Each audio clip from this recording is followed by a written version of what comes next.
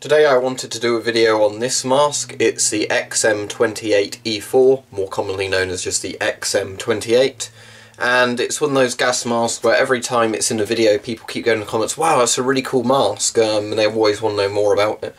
So I thought I'd do an updated video on just this mask and some of the history behind it.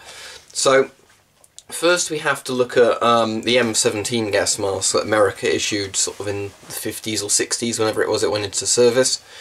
And as you know from my channel, the M17 is a failure. Cheek filter masks in general are failures because it's a really stupid concept for a gas mask.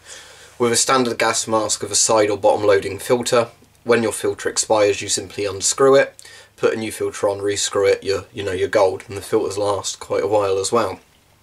What the idea was, was they wanted to make a super lightweight, you know, convenient gas mask that would have filters built into the cheeks but they didn't actually think at the time you couldn't replace the gas mask without taking them, uh, replace the filters in the gas mask without taking the mask off.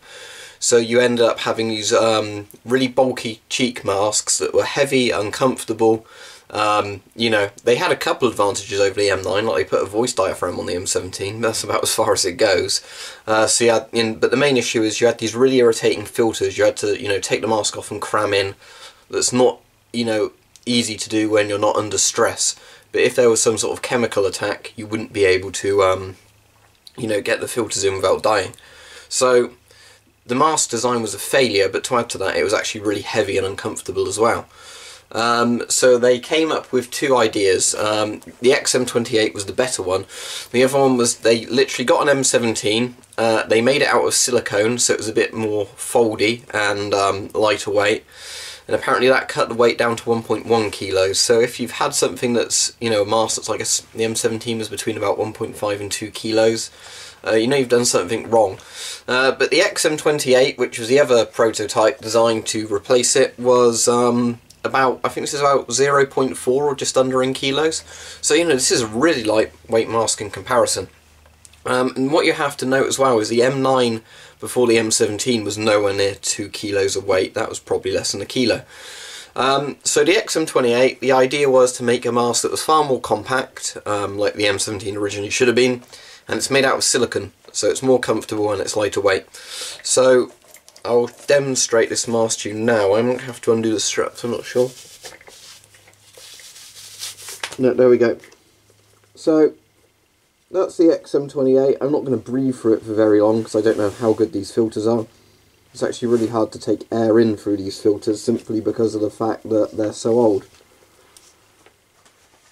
But yeah, it's lightweight. I've got a fairly good field of view, although the um, oral nasal cup blocks a massive amount of your view in this mask. But yeah, the XM28 you can't complain about it like you can complain about the M17 at least, because this is at least lightweight and sort of comfortable to wear. I'd say the closest thing I can compare this to is actually wearing kind of the 3M masks, you know, like the ones for like particulate filtering or whatever else, not the full face ones, but the half face masks if you then just had, you know, like an upper bit to it as well. It's that kind of feeling of a lightweight thing, because 3M do do some silicone masks as well. Um, so this one was made by MSA, which you can hopefully see on the bottom if the camera focuses. And I think MSA is Mining Safety Appliances or something like that. They used to do, uh, they were like one of the first companies that made gas masks and respirators because they used to make mine safety equipment. Um, MSA does a lot of the US gas masks. So this one was made in 1969.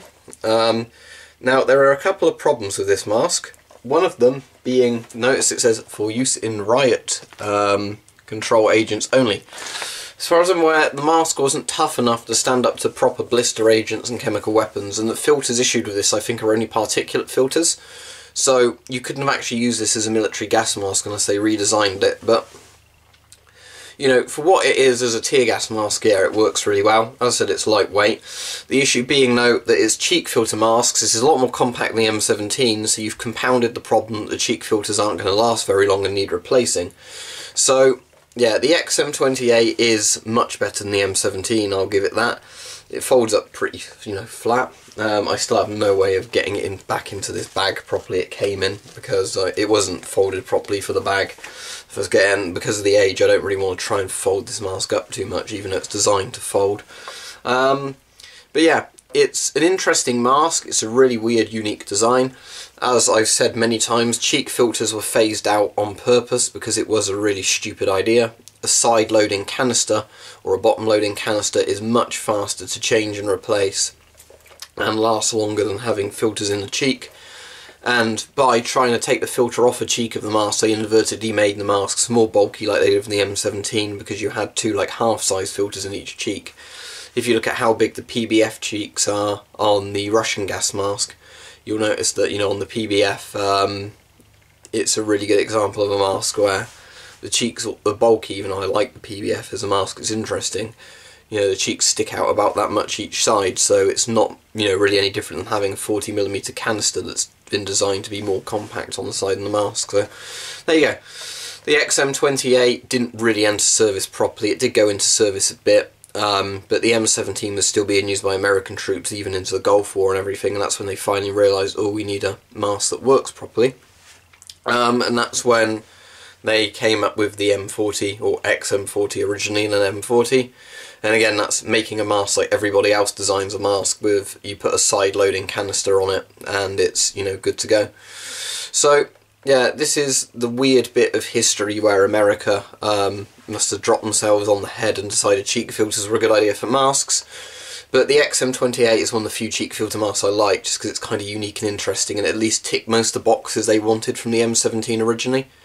Being lightweight, you know, and comfortable, unlike the M17 because that's the thing that really gets me with the M17 is they had the M9 which is a perfectly good mask and rather than improving upon the M9 which other countries of nowhere near the amount of money America has did when they bought them uh, America decides to make a mask that it's meant to tick all these boxes and it basically ticks none of those boxes and is worse in every way other than you could say I guess the rubber might have been a bit better than the M9 and you know had a voice diaphragm on it but for the most part um, M17s are a total failure of a mask just because cheek filters are a really stupid design. I can't stress that enough. I get a lot of people in the comments actually saying, oh, cheek filters aren't that bad, you're just being harsh on them in hindsight. No, they're just awful. Because you have to think that before cheek filters, people were making 60mm side-loading masks. You know, if they'd just carried on developing that, we'd have had 40mm you know, like lightweight side loader masks prior to that. What would be cool is if somebody made, um, there probably are ones, uh, like masks like this, but with side loading filters. The interesting thing about the XM28, before I forget as well, it's a complicated name, so I'm not going to remember it, but America in the early Cold War, and I think they might have done the prototypes by World War II, had done these masks that looked like the grasshopper mask, the XM28, but rather than having cheek filters, it had a, like a filter that was wrapped around there.